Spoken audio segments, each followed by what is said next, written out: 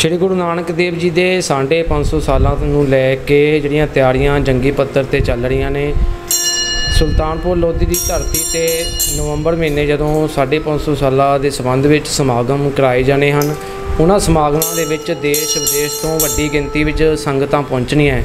ਸੰਗਤਾਂ ਦੇ ਪਹੁੰਚਣ ਲਈ ਜਿਹੜੀ ਆਵਾਜਾਈ ਹੈ ਉਹ ਇੱਕ ਵੱਡਾ ਸਾਧਨ ਬਣਦੀ ਜਾ ਰਹੀ ਹੈ।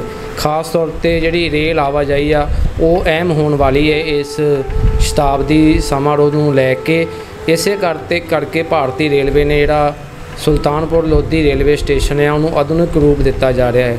ਇੱਥੇ ਜਿਹੜੇ ਪੁਲਾਂ ਦੀ ਉਸਾਰੀ ਕੀਤੀ ਜਾ ਰਹੀ ਹੈ, ਪਲੇਟਫਾਰਮ ਨਵਾਂ ਬਣਾਇਆ ਜਾ ਰਿਹਾ ਹੈ ਔਰ ਕਰੀਬ 40 ਤੋਂ 50 ਕਰੋੜ ਰੁਪਏ ਅਨੁਮਾਨਿਤ ਇੱਥੇ ਜਿਹੜਾ ਖਰਚਾ ਕੀਤਾ ਜਾ ਰਿਹਾ ਹੈ। ਅਸੀਂ ਤੁਹਾਨੂੰ ਤਸਵੀਰਾਂ ਵੀ ਦਿਖਾਵਾਂਗੇ ਕਿਸ ਤਰ੍ਹਾਂ ਜਿਹੜਾ ਰੇਲਵੇ ਸਟੇਸ਼ਨ ਆ, ਸੁਲਤਾਨਪੁਰ ਲੋਧੀ ਆ, ਉਹਨੂੰ ਹੜਾ ਭੜਿਆ ਬਣਾਇਆ ਜਾਵੇਗਾ। ਇਸ ਤੋਂ ਇਲਾਵਾ ਜਿਹੜਾ ਵਾਤਾਵਰਣ ਦਾ ਮੁੱਦਾ ਵੀ ਇਸ ਜਿਹੜੇ 550 ਸਾਲਾਂ ਤੇ ਅਹਿਮ ਹੈ, ਇਸੇ ਦੇ ਕਰਕੇ ਇੱਥੇ ਰੇਲਵੇ ਵਿਭਾਗ ਵੱਲੋਂ ਵੀ ਜਿਹੜੇ ਪੌਦੇ ਲਗਾਏ ਜਾਣੇ ਹਨ। ਤੇ ਇੱਕ ਪਾਰਕ ਬਣਾਇਆ ਜਾਣਾ ਹੈ, ਜਿਸ ਦੀ ਸੰਭਾਲ ਖੁਦ ਰੇਲਵੇ ਵਿਭਾਗ ਨੇ ਹੀ ਕਰਨੀ ਹੈ। ਇਸ ਤੋਂ ਇਲਾਵਾ ਵਾਤਾਵਰਣ ਪ੍ਰੇਮੀ ਸੰਤ ਬਲਵੀਰ ਸਿੰਘ ਸੀਚੇਵਾਲ ਜੀ ਨੇ ਵੀ ਇੱਥੇ ਵੱਡੀ ਗਿਣਤੀ ਵਿੱਚ ਰੇਲਵੇ ਸਟੇਸ਼ਨ ਦੀ ਨੁਹਾਰ ਬਦਲਣ ਲਈ ਜਿਹੜੇ ਪੌਦੇ ਲਗਾਏ ਹਨ।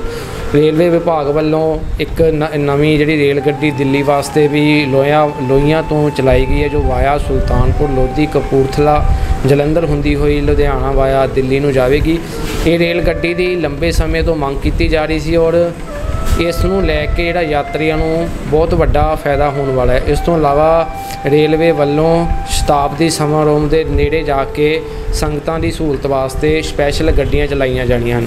ਇਸ ਤੋਂ ਇਲਾਵਾ ਰੇਲਵੇ ਸਟੇਸ਼ਨ ਤੋਂ ਲੈ ਕੇ ਗੁਰਦੁਆਰਾ ਸਾਹਿਬ ਜਾਣ ਤੱਕ ਵੀ ਰੇਲਵੇ ਵਿਭਾਗ ਵੱਲੋਂ ਕਈ ਸਹੂਲਤਾਂ ਦਾ ਜਿਹੜਾ ਪ੍ਰਬੰਧ ਕੀਤਾ ਜਾਣਾ ਹੈ। ਸਾਡੇ ਨਾਲ ਰੇਲਵੇ ਸਟੇਸ਼ਨ ਸੁਲਤਾਨਪੁਰ ਲੋਧੀ ਦੇ ਸਟੇਸ਼ਨ ਮਾਸਟਰ ਜੀ ਮੌਜੂਦ ਨੇ, ਉਹਨਾਂ ਨਾਲ ਗੱਲਬਾਤ ਕਰਦੇ ਹਾਂ। ਸਰ, ਕਿਸ ਤਰ੍ਹਾਂ ਦੇ ਜਿਹੜੇ ਰੇਲਵੇ ਵਿਭਾਗ ਨੂੰ ਵੱਲੋਂ ਸ਼ਤਾਬਦੀ ਸਮਾਰੋਹ ਨੂੰ ਲੈ ਕੇ ਪ੍ਰਬੰਧ ਕੀਤੇ ਗਏ?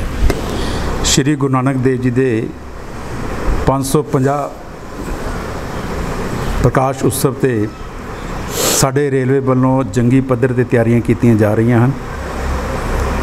ਤਾਂ ਕਿ ਜਿਤਨੇ ਵੀ ਸ਼ਰਧਾਲੂ ਦੇਸ਼, ਵਿਦੇਸ਼ ਤੋਂ ਇੱਥੇ ਆਉਣਗੇ, ਪੰਜਾਬ ਤੋਂ ਪੰਜਾਬ ਤੋਂ ਬਾਹਰੋਂ ਇੰਟਰਨੈਸ਼ਨਲ ਫੋਰਨ ਕੰਟਰੀਜ਼ ਤੋਂ, ਉਹ ਰੇਲ 'ਚ ਯਾਤਰਾ ਕਰਨ ਤੇ ਸਟੇਸ਼ਨ ਤੇ ਉਤਰਨ ਤੇ ਉਹਨੂੰ ਇੱਕ, ਉਹਨਾਂ ਨੂੰ ਇੱਕ ਨਵਾਂ ਜਿਹਾ ਸਟੇਸ਼ਨ, ਇੱਕ ਨਵੀਂ ਜੀ ਵਿਲੱਖਣਤਾ ਜੀ ਚੀਜ਼ ਦਾ ਅਹਿਸਾਸ ਹੋਵੇ ਉਹਦੇ ਵਾਸਤੇ ਸਾਡੀ ਰੇਲ ਬਹੁਤ ਯਤਨ ਕਰ ਰਹੀ ਹੈ।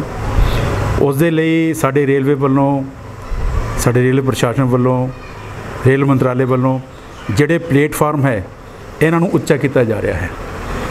ਪਲੇਟਫਾਰਮ ਉੱਚੇ ਕਰਨ ਦੇ ਨਾਲ ਨਾਲ ਜੇ ਇਹਦੀ ਲੰਬਾਈ ਵੀ ਵਧਾ ਦਿੱਤੀ ਗਈ ਹੈ, ਇਹਦੀ ਲੰਬਾਈ 600 ਮੀਟਰ ਕਰ ਦਿੱਤੀ ਹੈ। ਤੇ ਦੋਨੋਂ ਪਲੇਟਫਾਰਮ 1 ਤੇ 2 ਨੰਬਰ ਪਲੇਟਫਾਰਮ ਦੋਨੋਂ ਉੱਚੇ ਕਰ ਦਿੱਤੇ ਗਏ ਹਨ। ਤਾਂ ਕਿ ਯਾਤਰੀ ਨੂੰ ਉਤਰ ਚੜਨ ਉਤਰਨ 'ਚ ਕੋਈ ਵੀ ਤਕਲੀਫ ਨਾ ਹੋਵੇ। ਉਸ ਦੇ ਨਾਲ ਨਾਲ ਇੱਕ ਪਲੇਟਫਾਰਮ ਤੋਂ ਦੂਜੇ ਪਲੇਟਫਾਰਮ ਜਾਣ ਵਾਸਤੇ ਵੀ ਦੋ ਐਫ ਓ ਬੀ ਜਿਹਨੂੰ ਅਸੀਂ ਰੇਲਵੇ 'ਚ ਕਹਿੰਦੇ ਹਾਂ, ਫੁੱਟ ਓਵਰ ਔਨ ਬ੍ਰਿਜ, ਉਹ ਅਸੀਂ ਬਣਾ ਰਹੇ ਹਾਂ। ਵੀ ਇੱਕ ਯਾਤਰੀ ਦੂਸਰੇ ਲੈ- ਪਲੇਟਫਾਰਮ ਤੇ ਜਾਣਾ ਹੋਵੇ ਤਾਂ ਉਹਨਾਂ ਪੁਲਾਂ ਦਾ ਯੂਜ਼ ਕਰਕੇ ਜਾਣ, ਜੋ ਕਿ ਉਹਨਾਂ ਦੀ ਸੇਫਟੀ ਵਾਸਤੇ ਬਹੁਤ ਹੀ ਇੰਪੋਰਟੈਂਟ ਹੈ।